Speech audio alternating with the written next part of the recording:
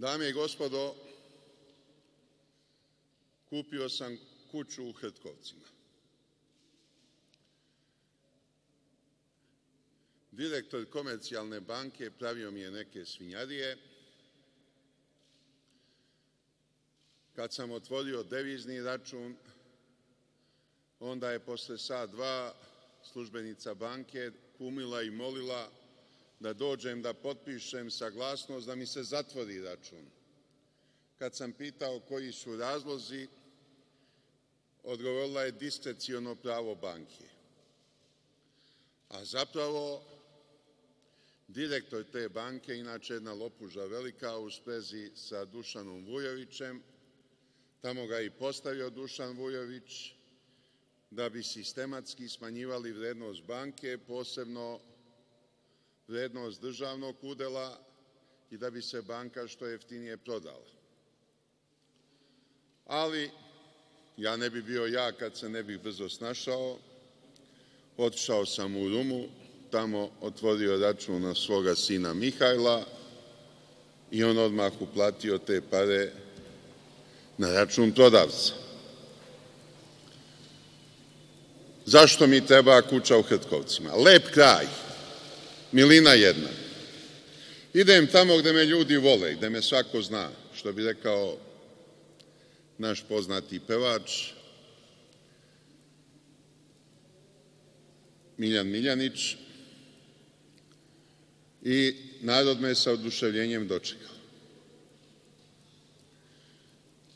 Ove televizije koje su slale tamo ekipe da snime neku negativnu reakciju imale su teške muke. Jedva su našli nekoliko poluidiota da prozbore nešto poluneutralno, kao nije to trebalo, ne treba sada da se pravi gužva. Kakva se pravi gužva, ja kupujem kuću, kakva gužva? Nema gužve u mojoj kući. Zašto mi treba kuća? Treba mi za odmor, treba mi za rad, za pisanje, tišina, mir. A drugo, dve velike prostorije, i to glavne prostorije u kući, namenio sam za otvaranje dve kancelarije.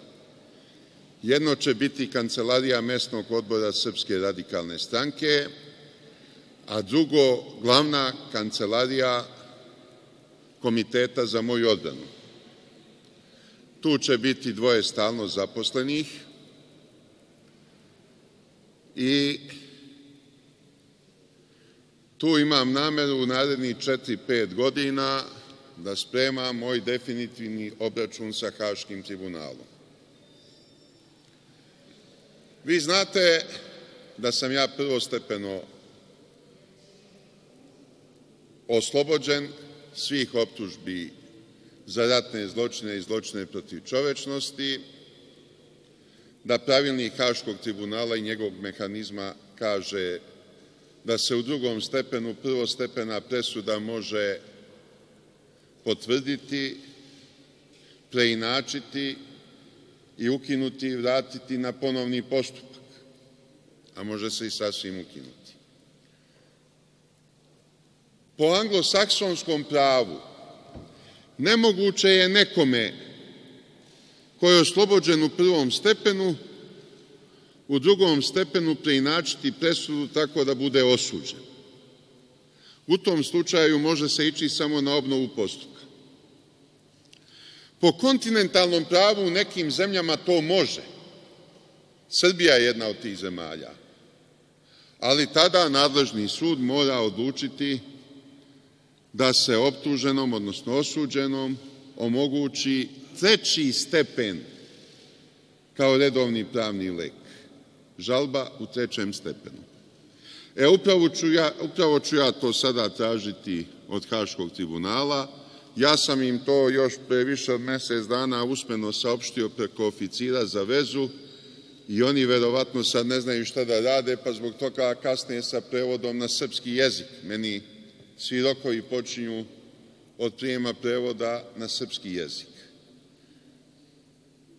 Ja sam tražio da mi se odredi rok za podnošenje zahteva za ulaganje žalbe u trećem stepenu nakon prijema drugostepene presude.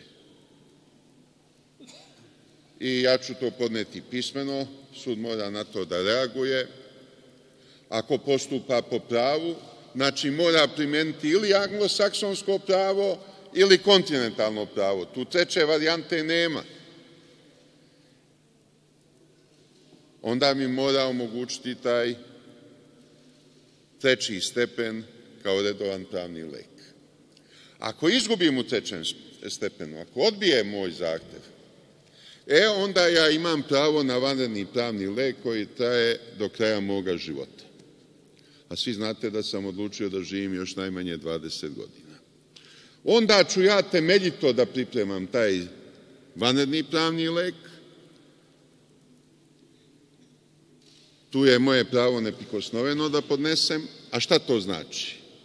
Ja u prvom stepenu uopšte nisam izvodio dokaze i nisam izvodio svedoke odbrane.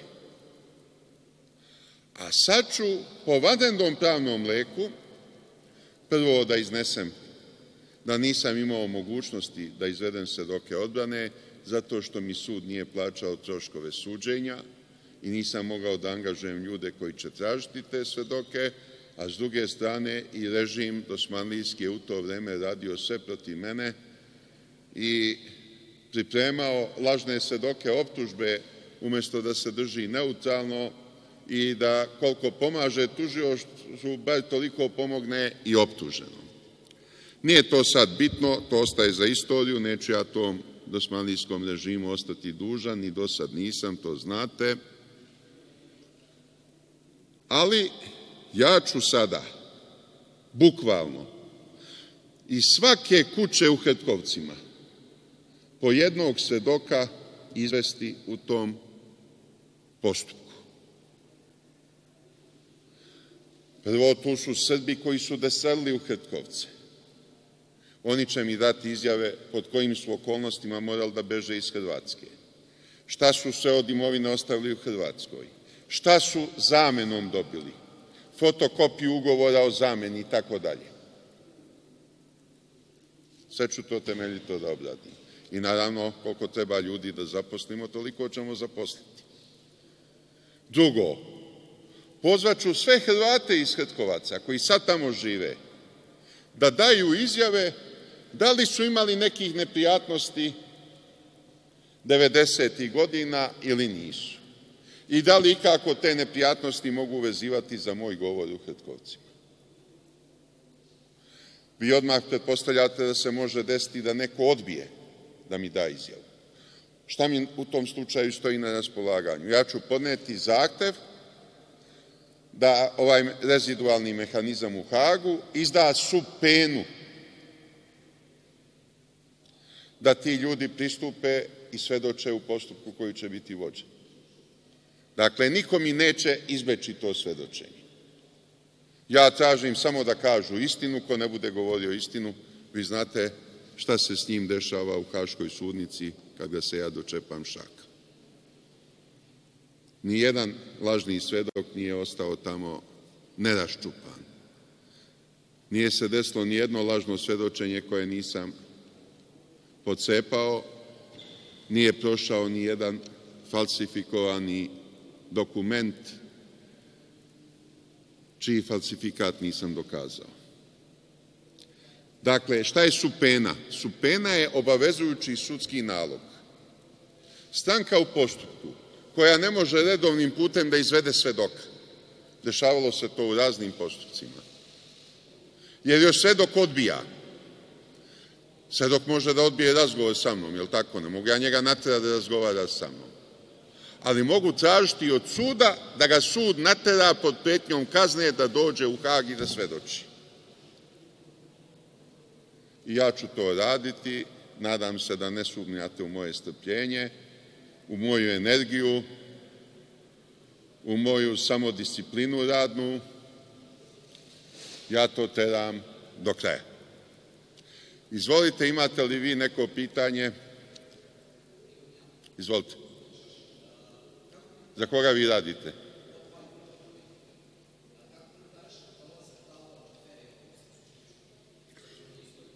Pa ja ne znam koga je pozvao, ali On je predsednik Makedonske skupštine, je li tako?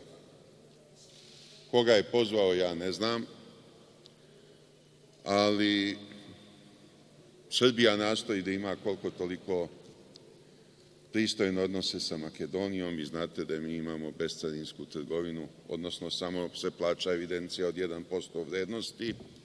Nama je cilj da ostanemo u dobrim odnosima sa Makedonijom, a to što su Makedonci odabrali poznatog terorističkog vođu za predsednika Narodne skupštine, ja mislim da je to pre svega problem Makedonije, a ne problem Srbije.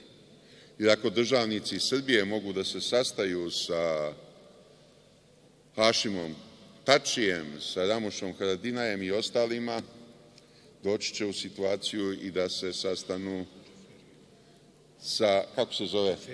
Kako? Džaferijem, iako se zna da je bio teroristički vođa. Zapravo, on je bio valjda teroristički vođa na prostoru Makedonije, je li tako? E, pa ako ga Makedonci trpe kao predsednika Skupštine, šta mi tu možemo da radimo? Ja da sam bio predsednik Skupštine, Narodne skupštine Srbije, ja ga ne bi pozvao. Ja ne bi pozvao skupštinsku delegaciju upravo iz tog razloga što bi mogao ovo da očekuje. Ali što se srpskih radikala tiče, mi ne verujemo da iko od nas s njim sastati.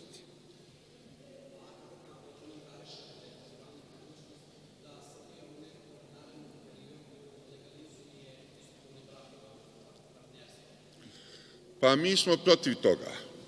Ja mislim da se to nikako ne može nazvati brakom, jer je brak zajednica lica muškog i ženskog pola, čija je osnovna svrha rađanje novog života u zajednici. Ali nemamo ništa protiv da se zakonom propiše da lica istog pola mogu potpisati ugovor u opštini o zajedničkom životu. Čak to može imati i svečani karakter kao što ima bračni ugovor, ali se ne može nazivati brakom. Dakle, ugovor o zajedničkom životu i onda se zna koja su prava i obaveze, ono što sami sebi odrede. Postoji tu samo jedan problem, tu ne može doći do ostvarivanja porodične penzije. Dakle, ono što jedan ima pravo na osnovu radnog odnosa, ne može da nasledi drugi ili druga. Dakle, naša pozicija je tu krajnje jasna i principijelna. Mi ne prihvatamo homoseksualizam kao način života, kao sistem društvenih vrednosti, ali smo uvek, uvek bili protiv proganjanja homoseksualaca. Toga se sećate, valjda, da nikad Srpska radikalna stranka nije bila pristalica proganjanja. Mi smatramo da oni moraju biti ravnopravni u životu, radu, ispunjavanju svih društvenih obaveza i ostvarivanju svih prava koje pruža naš sistem.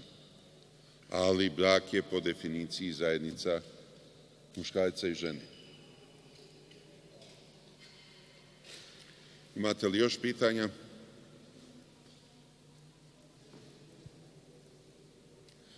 Hvala vam što ste došli.